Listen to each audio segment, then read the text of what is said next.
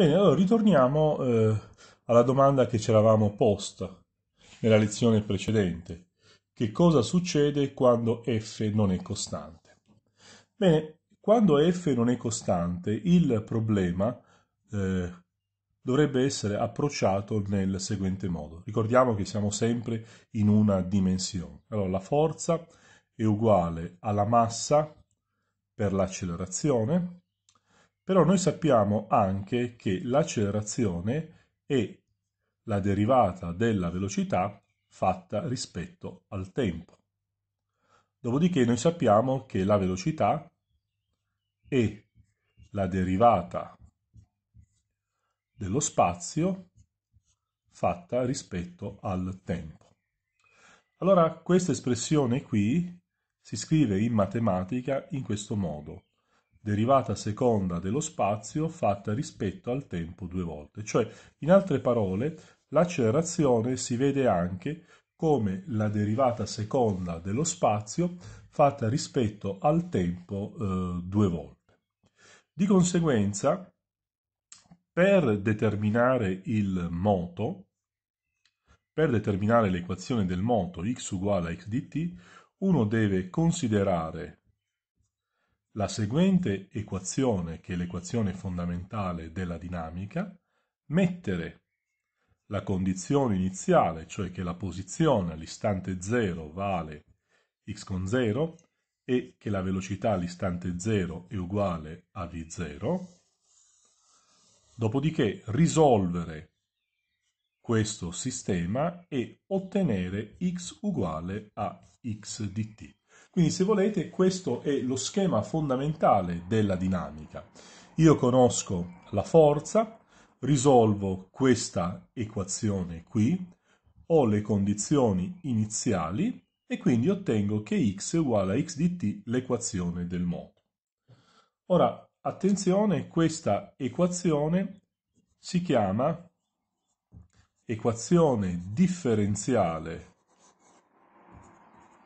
del secondo ordine, va bene? È il secondo ordine perché c'è il 2, ed è un'equazione differenziale perché vedete che l'incognita x non è come nelle equazioni che state studiando eh, in matematica, ma è, eh, ma è una derivata, cioè compare la derivata dell'incognita ed è per questo che si chiama equazione differenziale del secondo ordine.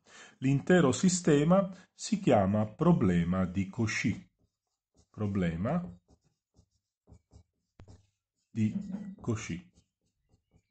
Allora, noi eh, risolveremo problemi di questo tipo eh, soprattutto, in, soprattutto eh, diciamo in quinta, eccetera. Tuttavia, eh, prossimamente farò vedere un esercizio, visto che comunque le derivate di polinomi eh, le sappiamo fare, eccetera, per eh, eh, ottenere diciamo, l'equazione x uguale a x dt da un'espressione generale di questo tipo.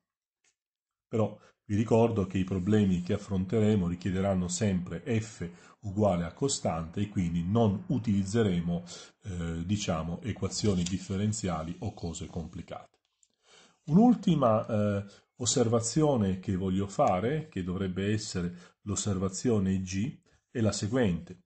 Ricordiamoci che il secondo principio della dinamica è un'equazione eh, vettoriale.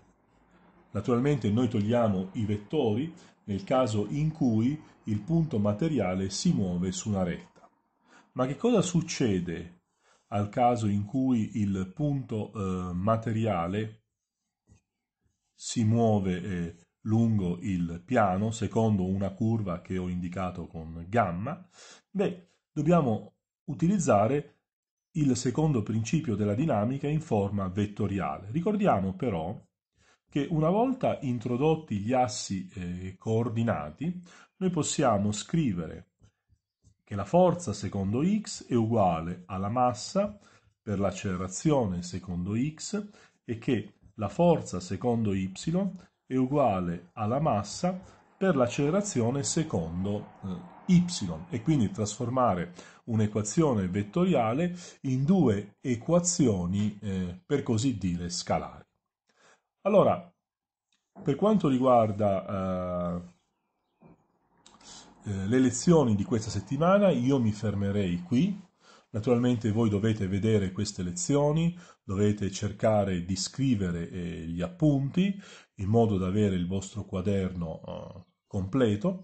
Per questa settimana non vi do eh, nuovi esercizi perché avete già gli eh, esercizi sul, eh, sul, moto di caduta di un grave. Nella prossima settimana invece affronteremo alcune tipologie specifiche di forze e inizieremo eh, a studiare problemi di dinamica, quindi problemi in cui applichiamo sostanzialmente eh, la legge F uguale a ma, quindi forza uguale a massa per accelerazione.